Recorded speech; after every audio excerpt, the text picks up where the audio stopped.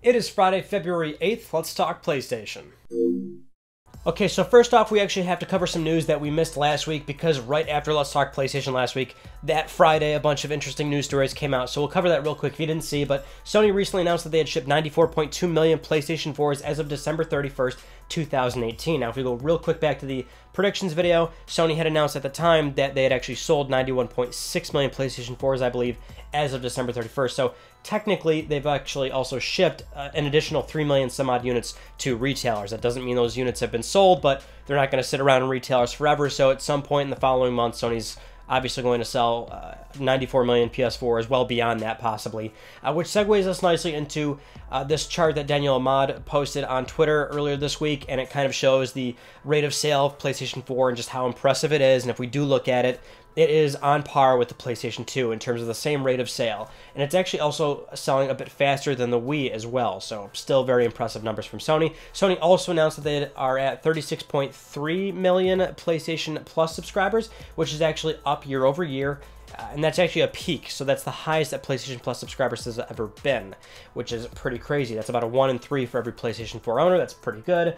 Um, and so that tells you what Sony's making a lot of money. This goes into our next news story, which is that uh, it was also sort of noted earlier in the week that PlayStation Network revenue is uh, more than all of Nintendo's revenue for the previous year combined which is an interesting metric. Sure, I don't think it's entirely fair. Or, I mean, I mean, yeah, it's cool to sort of hear that, wow, PSN made that much money. That was more than all of Nintendo. And I believe it was also more than Xbox, if I'm not mistaken. But um, the thing you have to understand is that PlayStation Store is it's large. I mean, there's tons of content on there. Not only is it PS4 games, PS2 classics, PlayStation Now, obviously, all that DLC, uh, PlayStation VR games.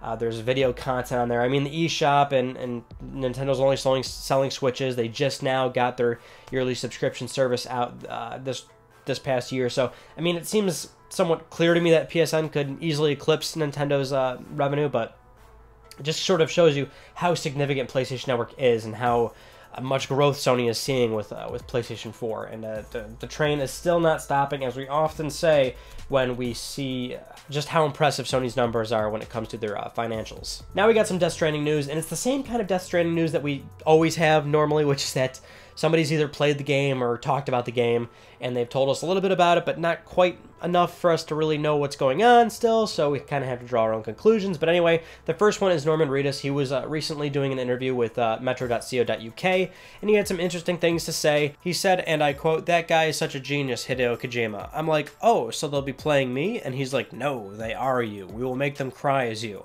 I'm like, what are you talking about? It's a video game. He said the concept is so far out into the future. Instead of eliminating everyone around you, it's bringing everyone together. It's a very positive video game, but scary and depressing at the same time. He continued to say on, the trailers show you an aspect of it, but not the whole picture of what the game will be. That's like a whole other thing. It's complicated. It's a crazy complicated game. I've been learning a lot about video games doing it. So not entirely surprising, that's pretty much the same thing he's been saying about the game for a while now, although there was that more detailed synopsis he gave us about a few months back when he was on, I believe, a podcast of some sort, and he told us that the game was about a phobia, the phobia of being touched, and as you progress throughout the game, you get uh, more okay with it, and people getting closer to you and things like that, and I, I thought, I still think that's a pretty profound idea, and that still excites me, and I, I want to see that you know further explored and i want more people to sort of talk about it a little bit but the ambiguity of the game i think is still pretty exciting. Uh, the other thing is director jordan vogt roberts who uh, i believe he directed kong skull island and he's uh, apparently been trying to uh, direct a metal gear movie i believe he's got a script done he's been sending it in or whatever um, but he was allowed to play death stranding this past week and he tweeted uh, that he's very impressed. He seems like he's very impressed, obviously. He said, uh, Hideo Kojima let me play Death Stranding. The world is next level immaculate. It's like freebasing pure Kojima and Shinkawa. Remember when Fury Road blew you away, but also made you, in the most thankful way, ask, What the fuck? How does this miracle exist? You are not ready. So, yes, yet another person enjoyed the game, but what this tells me more than anything is that uh, Kojima is allowing more and more people to play the game that are outside of the studio. Uh, so it's almost like the sort of very early stages of uh, perhaps feedback. Um, you could maybe see more focus testing, probably with people that obviously you wouldn't hear from because they're under NDA. But uh, looks like the game is getting closer to a point where he's letting people outside the studio play it. I mean, certainly there's got to be a certain degree of uh, completeness to the game that I think uh, is getting it closer to possibly getting a, a release date of some kind. I, I would hope that's kind of what we're we're getting to if he's letting this many people try it. Now, as a PlayStation 4 owner, you might not know about EA Access, which is a service that EA offers exclusively on Xbox One, and I believe there's also EA Origins Access on PC. I'm not entirely sure what the difference is there, but it's a service that EA offers.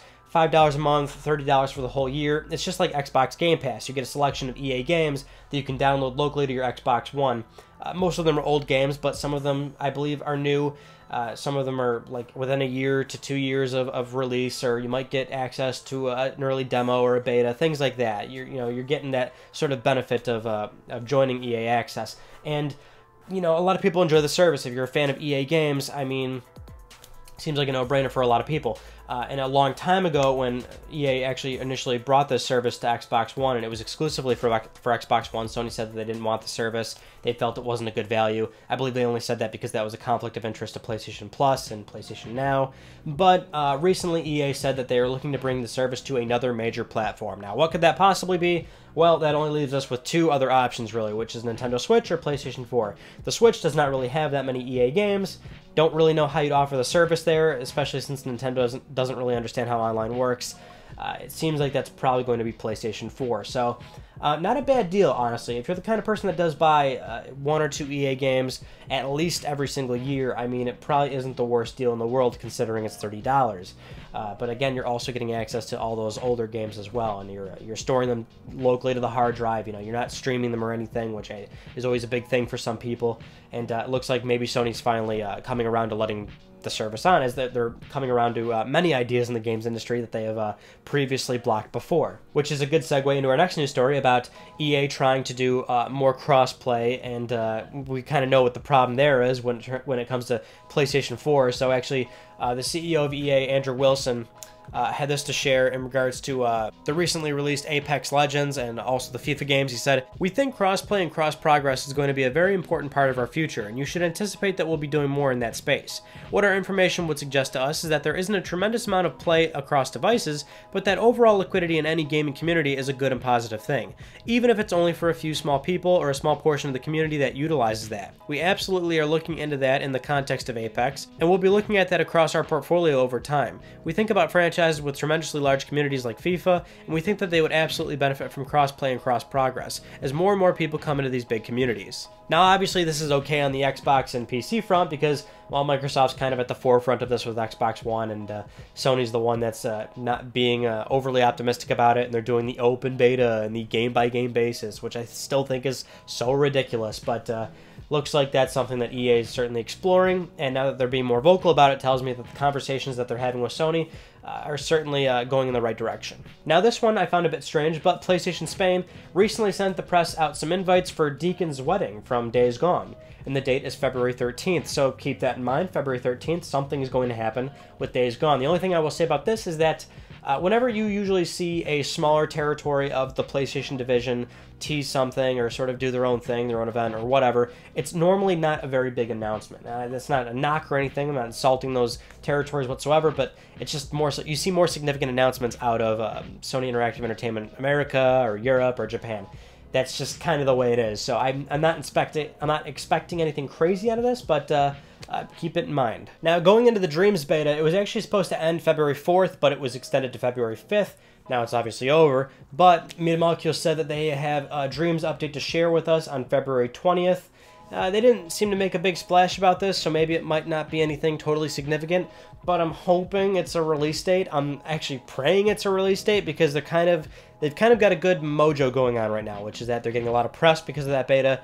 We're seeing a lot of those creations and how fascinating they are and just the depth and scope of the game. So I think there's more eyes on it now than there was before. So I don't I don't want them to lose that momentum, and I think now would be a good time for them to tell us a release date. Uh, so hopefully that's what we're going to get uh, once that date comes, and uh, that's pretty much it. We're just going to have to wait and see on that. Now moving on, we have to talk about this because the implications for this I think are this could go many different directions, but uh, this past week, Microsoft announced that they are bringing Xbox Live to iOS, Android, and Nintendo Switch which is a very big one. That is the big talking point amongst many people in the industry and gamers in general. Uh, what does this mean? Uh, now, the thing is, we don't have the actual details. So, my, uh, Microsoft actually said that they will uh, talk further about this at GDC, and that'll be in March. So, you know, whatever comes about that, I'm sure we'll talk about that come next month. But for now, we don't really know a whole lot. Uh, it's presumed that you'll have access to your Xbox Live friends list you know, achievements, Mixer, you know, some small applications, integrations, things like that. Obviously, this is to also help the crossplay initiative that Microsoft, again, is at the forefront of. Um, and so, I mean, it's clear that Sony's not going to be a part of this, and they're definitely like that's the thing. Sony could probably get on board with the crossplay thing. You know, they're probably going to be. I think it's it's a very kick and scream sort of thing of dragging them through this, but I think eventually Sony will be in a place where they're pretty much approving every single game for um, for cross network play. But I think this is the one thing you're not going to get. You're certainly not going to get an Xbox Live app on the PlayStation Dynamic menu on PS4. You're not going to get that. And that is what Microsoft has been doing in recent years. I mean, it's funny because for I don't know, like three, four years ago when Microsoft was getting really serious about Xbox everywhere and unifying Windows and Xbox, many people thought it was polarizing because the you know it's why buy an Xbox One console at that point when you can just get all their games on PC? And what's you know that's fine. That's what many people are doing.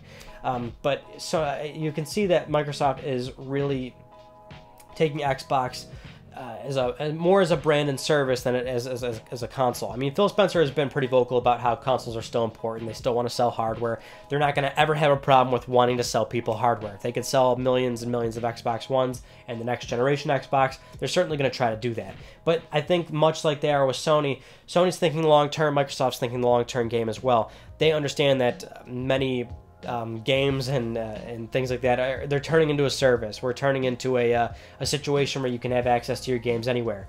And the fact of the matter is, uh, a, a game sale is a game sale. It doesn't matter where it's being played. I mean, hardware sales are fine, but as you see over the last two decades, more and more consumers and every single industry is moving away from physical hardware that you buy and more towards services. Whether that's movie, uh, movies, music, TV, everything is moving away from that traditional hardware and uh, Microsoft understands that. And um, so while Sony and Microsoft and Nintendo uh, are still vouching for hardware and that they'll continue to release hardware, that doesn't mean they're gonna not try and uh, you know sort of capitalize on where many consumers are sort of moving towards. And that's why Microsoft wants to put Xbox everywhere. And it doesn't even matter if it's a Nintendo Switch. If anything, this greatly upsets me that uh, Nintendo is almost submitting to the fact that they are not going to genuinely try to make a proper friends list, a proper um, achievement trophy system, a proper application system where there's tons of these third-party apps that you can you know use on your Switch and uh, they're integrated you know through cross-game functionality and uh, using the games uh, in between apps and things like that. It's just it's like Nintendo submitted to the fact that look, we're making that we make games, we make ga- a game machine. That's it. We don't want to get into the online thing, but we'll let Microsoft do that. And the th- the funny thing I also see is always people saying that. Uh, uh, Nintendo, because Nintendo's doing so well with the Switch, this is uh, their real competition to Sony and Microsoft. I've never understood that sentiment throughout every generation that Nintendo's been in. I mean, well, not until you know, I'd say 25 years ago when Nintendo was like one of the only few players in the games industry, and it was more of a choice between, say, Nintendo or Sega or Atari. Um, but more so today, in, rec- in the recent 15 or so years, Nintendo is always seen as a, and you know, keep in mind, this sounds anecdotal, but we all know it's true. It's a, a, device that you have along with something else. We don't. There's not many people that just have Switches. Many people buy a Switch alongside another console or another platform preference in general, like PC, for example. Or many PC players often buy just one other console, one PlayStation 4, one Xbox One, one Nintendo Switch. Um, but gamers typically have more than one machine, and if they have a Nintendo console, they've also got something else. They're not just buying Nintendo's machines. Um, so why am I saying that? Because Nintendo themselves know that is their position in this industry. They know that they're being bought with other platforms. They're not stupid. In fact, all of these manufacturers are not stupid. They all send out surveys, they all have data suggesting and asking people, how many consoles do you typically own? There's a reason why they ask that. They have this data, they know that their platforms are bought in connection with other platforms. Um, and Nintendo knows their place. They know that uh, they're, uh, and I hate saying companion device because it's a, fantastic games machine. I love it. I've been playing it honestly more often than my PlayStation 4 in the past six, seven months now. But you know, they know that um, they're not the only games machine in a household. They know that other people own other hardware. And that's why I think that they're kind of okay with sort of going forward with, forward with this. Um, and you know, it might not even be as substantial as we think. I mean, we'll, we'll have to wait till GDC to talk about this further, but it might not be that big of a deal. But the thing we can say with certainty is that Sony's certainly not going to play ball with having Xbox Live on PlayStation 4. And now it's just a matter of if Microsoft sort of succeeds with this approach of having Xbox Live possibly on 2 billion devices, and that's kind of the, the, the buzzwords that they're using there is 2 billion devices because it's mostly handsets, you know, iOS and Android. But um, if they are successful in you know getting many people on all those uh, into that ecosystem of, Xbox games and buying an Xbox game, and boom, all of a sudden you can play it anywhere, uh, depending on you know if it's through the Project xCloud or if it's natively released on that particular device. Um, but it's uh, that's what they're trying to do. They're trying to get software sales and keep them into that ecosystem, no matter what device it necessarily is. Where does that put PlayStation? Because as of right now, Sony's focusing on PlayStation Now. Are they going to put PlayStation Now on mobile? Are they going to put it? Are they going to, you know, release day and date Sony first party games on PlayStation Now, which is also available on PC? Are they going to do these things? You know, probably not, um, because they seem pretty stubborn in staying where they are in terms of uh, the brand and saying, you know what, you got to buy PlayStation hardware. You got to, if you want to use PlayStation Now, it's best on PS4. You know, I mean, they're very focused on streaming, they're very focused on virtual reality, but they're not very focused on working with others or making their games available everywhere else. And uh, that's fine, that's kind of always been sort of the PlayStation way, if you will. Um, it's just a matter of is that going to hold? Because um, as much as you guys want to vouch for how well PlayStation 4 is doing, I'm just I'm telling you things can change. They they honestly can. And I agree. Sony has this market dominance. They have this vast party of first party studios that uh, you can only play on PlayStation and certainly that Sony's not going to let those games go anywhere else in the foreseeable future. But is it going to hold? Is it going to stay like that? I certainly hope so because I enjoy those games and I enjoy PlayStation as a platform. It's why I have this YouTube channel. Um, but will Microsoft be success, successful in overcoming this sort of um, rock and a hard place that they've been stuck in for a while? Which is that, uh, you know, they've got good things going on. They've been doing very pro consumer things in recent years, but uh, they're certainly going for the all out approach of, uh, you know, just getting people to, to buy games. And uh, will it work? It, it might. You know, it, it, honestly might. With all that said, I think it's time to get into Let's Talk Plus, our weekly Let's Talk PlayStation giveaway, where one of you win a $10 PSN code. I would like to congratulate Red. That's your name. I hope you know who you are. I'll be contacting you very soon on Twitter to send you your $10 PSN code. If you would like to win the $10 code, it is very simple. Follow the link down below to the Gleam website. You can subscribe on YouTube. You can follow on Twitter. You can follow on Twitch for an entry. Let me pay for your games. We do this every single week on Let's Talk PlayStation. With that out of the way, those are all the news stories I want to talk about you guys from this past week. Now, if you didn't see, we did some PlayStation 3 in 2019. I played a bunch of games online, and I tried to see who I could find, who I could talk to. A lot of you saw that video. A lot of you liked that video. Thank you very much. I'm glad you guys enjoyed that. Uh, maybe we'll do something like that in the future. I've got a few ideas buzzing around. Um, I might do that uh, further down the road. But next Tuesday's video, we're going to be looking at some PlayStation facts, specifically the PlayStation 1. I got a lot of facts, a lot of things you might not know about the PlayStation 1. I think you're going to really enjoy it. Stay tuned this coming Tuesday. But other than that, that's all I've got for you. That concludes this week's episode of Let's Talk PlayStation. I'm Ryan Benecki. Thank you all so much for talking with me, and I will see you guys next Friday.